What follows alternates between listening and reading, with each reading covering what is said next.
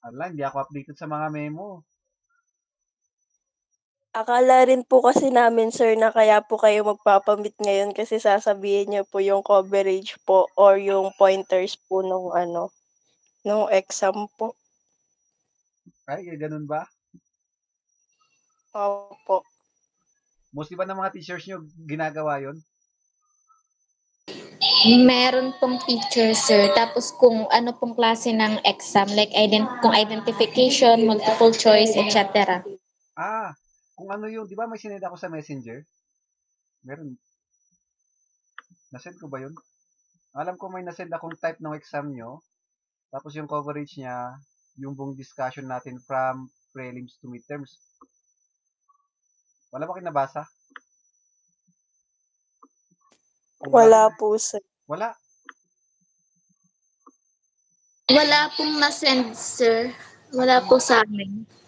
So, Ang nasabi niyo lang po, sir, kung ano yung hanggang saan po yung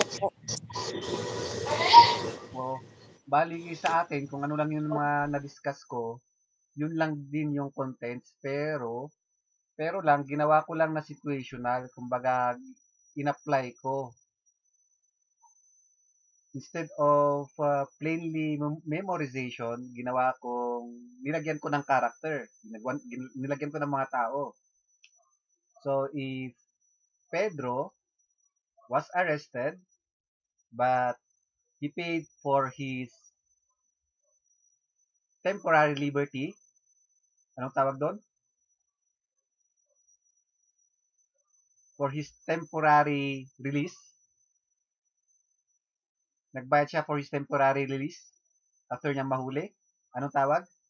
Mga ganun lang ginawa ko. Bail, di ba? Alam, sir.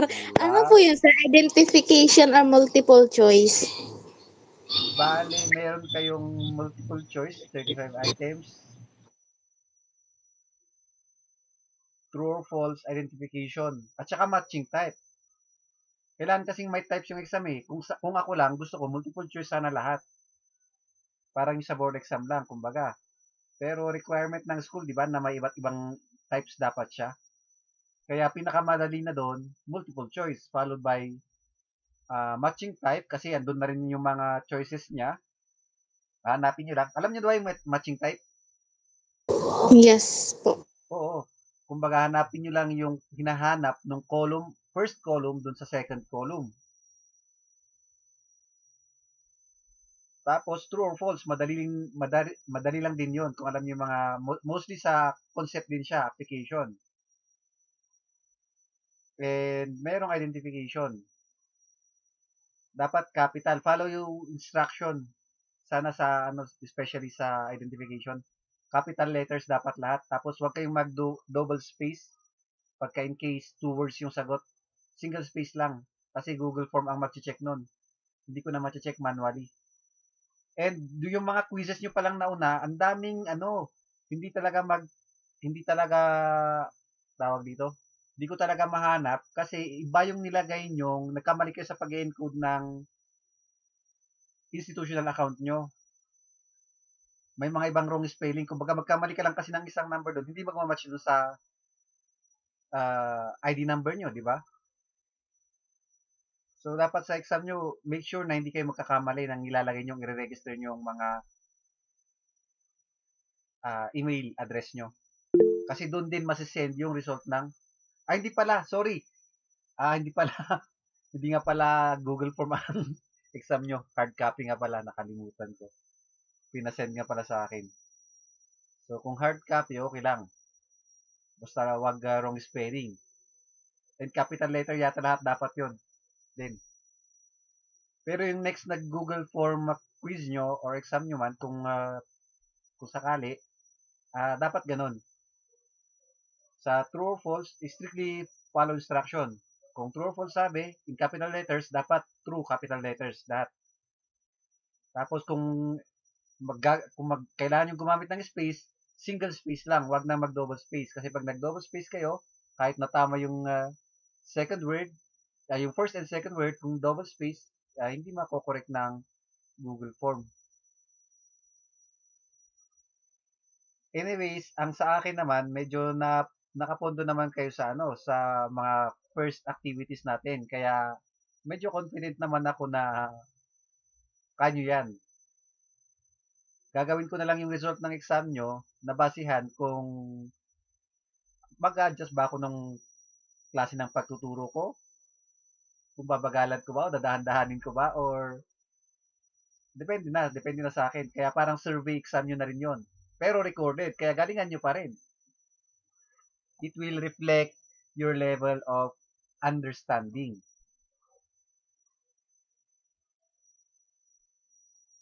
Do you have any questions?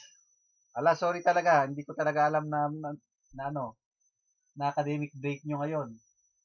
All I know kasi, exam nyo dapat ngayon sa calendar ko, tapos next week, ang academic break nyo. So, bali 2 weeks na pala kayong walang klase. Yung bagyo, tapos pangalawa to. Yes po. Pero, kumusta naman kayo? Naka, naka, pag-recover na ba kayo sa bagyo? Yes po, sir. Okay Opo. naman na po. sir. May mga nabasa bang materyales? Ang ah, review materials? Wala naman po, sir. Hmm. Wala namang casualty sa atin. Wala naman. Ah, buti naman. Nakapaganda na ba kayo sa ex- exam nyo? Slight po. Ay, dapat naghahanda na kayo habang naka, yun lang, hindi nyo ma-enjoy ang break nyo. Dapat kasi exam muna bago break eh. Para masulit nyo yung break nyo. Nataon kasi sigurong bagyo, kaya ganun ang desisyon ng school. Inu- sinabay na yung ano, yung akad break nyo. Pero may ibang course din po na nag-take kasi ngayon, ngayong week po. Kumbaga sila po yung naka-schedule. Ah, may ibang course na nagtitake ngayon pero hindi yung cream. Ah, so parang pinagpalit pala ay ah, hinati, hinati, in-alternate. Opo, So tipid sa ano pala sa space. Space kayo kasi yung inoobserbahan ng ano eh ng COVID-19 implementers na pala. So pwede rin.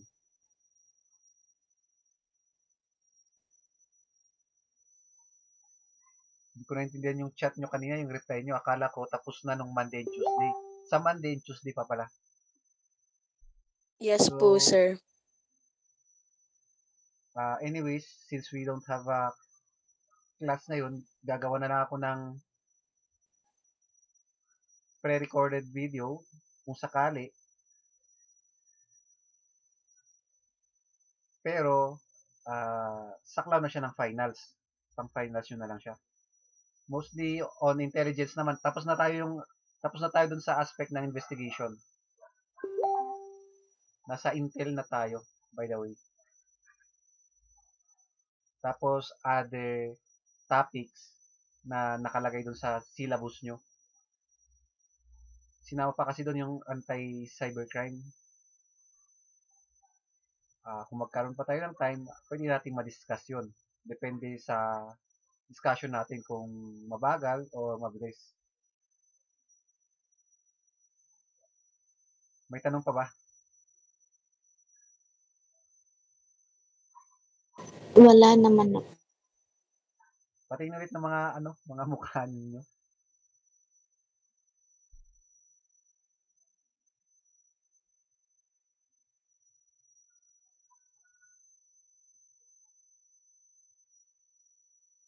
Okay. Mukhang uh, okay, okay nga naman.